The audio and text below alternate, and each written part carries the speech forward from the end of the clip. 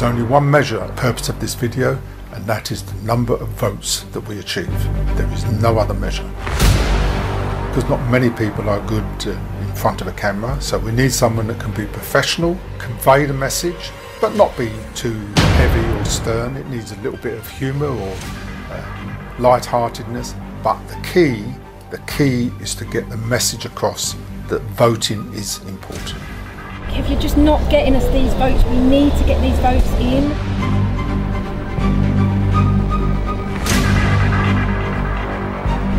Look, I'm sorry, but you were just not fast enough. You've got to get us these votes in.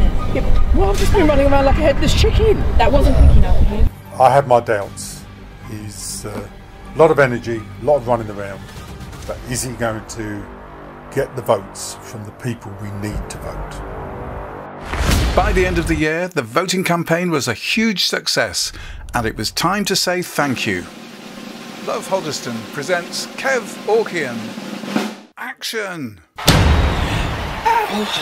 Oh. Um, hello. Um, I'd like to thank so many people right now, uh, but I'd like to start off by saying a massive thank you uh, to Marco Martone, courtesy of Pond 5, uh, and uh, and of course Dream Home from AKM for all the music for these Love Hoddesdon films. I'd like to thank John Forrest TV, John Forrest.tv, sorry, uh, for, for his help.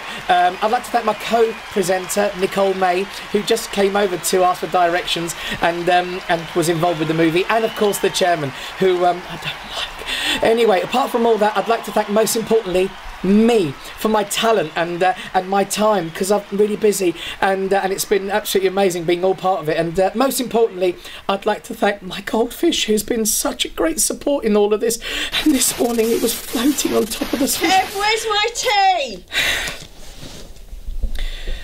Oh, okay. I'll just have to make the tea now. Don't call us, we'll call you.